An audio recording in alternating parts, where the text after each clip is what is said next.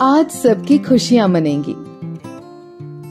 तैयारियों में मिठास खुलेगी। भाभी आपके भैया कब तक आ रहे हैं? बस आता ही होगा। लो आ गया।